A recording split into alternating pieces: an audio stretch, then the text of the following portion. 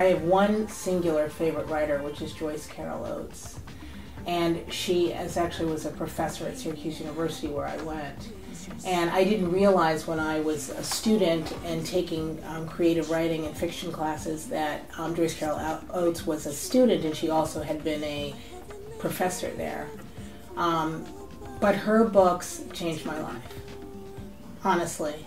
So I have a you know a favorite author all the time, but I think that Joyce Carol Oates stands out for me because she's the one who made me say, "This is what I want to do with my life. I want to change language."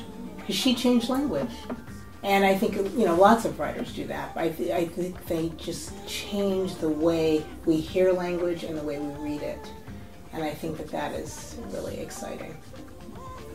She would write a lot about like pimps and prostitutes and ghettos and things like that. So, being an African American person from New York City, I knew about that stuff, but I wasn't terribly exposed. Mm-hmm. Um, and then I would write, read about these things in Joyce Carol Oates' pieces. So I thought, oh, she must be some alternative, you know, white woman who lives in the ghetto or something. So I asked my professor, and she said, Kim, Joyce Carol Oates is a white suburban woman who lives in the outskirts of Chicago.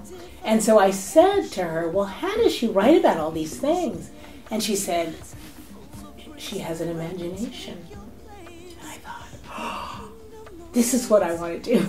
this is my life. I want to make up stuff and have them so convincing and change people's lives and change people's perspectives about these things. So I just was so enthralled with the idea that she was like an older, white suburban woman writing about pimps and hookers and sluts and crack and I was just like that is so exciting to me.